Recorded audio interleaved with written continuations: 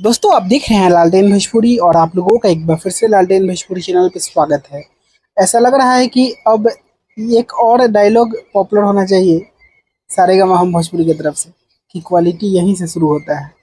जी हाँ दोस्तों, आज पवन सिंह का आप लोगों ने गाना देखा होगा। उस गाना में इतना ज़बरदस्त क्वालिटी गाना में चार चाँद लगा दिया सारे गा हम भोजपुरी ने। मुझे जहाँ तक लगता है कि उसका फोर्टी परसेंट जो पार्ट है वो अलग से शूट किया गया है। अगर आप लोगों ने नोटिस किया होगा तो। और वो क्वालिटी को बढ़ा देता है। खेसारी लाल का भी गाना आने वाला है सारे गामा हम भोजपुरी से। पता नहीं आएगा कि नहीं आएगा। क्योंकि अब हम हंड्रेड परसेंट कन्फर्म नहीं है कि गाना आएगा कि नहीं आएगा। क्योंकि समय धीरे धीरे बीतता जा रहा है और बोलबम का क्रेज़ भी डाउन होता जा रहा है। इतना बेहतरीन गाना को आप लोग देखेंगे तो व्यूज़ हालाँकि बेहतर है। अदर गानों के कंपेयर में बेहतर है।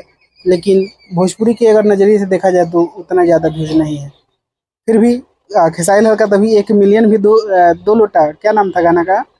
जिस गाना पे विवाद हुआ था, दो नंबर लोटा, उस पर एक मिलियन भी व्यूज़ नहीं गया तो वो गाना वैसा ही डिजर्व करता था।